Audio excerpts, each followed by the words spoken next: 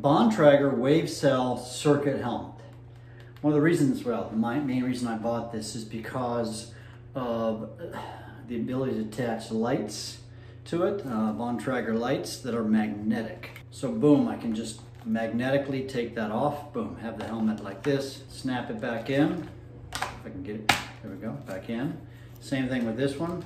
This back one, by the way, it kind of clicks out. You can do this, but then it's just barely in there. There's kind of a clicky thing like that, and now it's very secure. My one complaint about this helmet, here, take the off,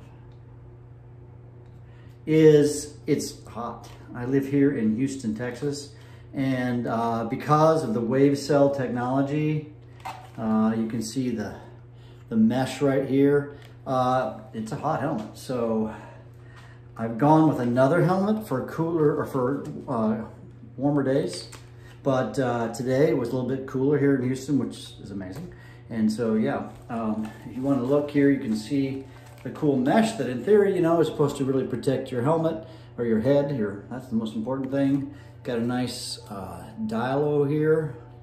Uh, the helmet wasn't cheap, but man, I feel secure in it. Took a while to dial it just right in.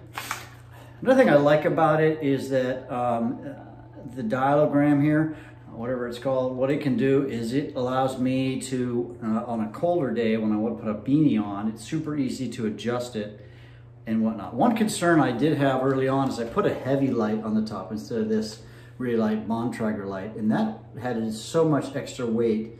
And what it did is it kept, uh, you know, coming down on my head, and I felt like I was riding my, my bike like this, and I kept to always have go like this, and I felt like I was over tightening it because of the extra weight on the top. So um, if you're not gonna put any, any lights on it, no worries. If you're gonna put a light on it, I would recommend putting a light, uh, light, a light as in less weight light, onto the helmet because I think that'll make a big difference. Uh, this is the Ion 200 RT and this is that I bought the companion light that goes on the back and I've been very happy with that.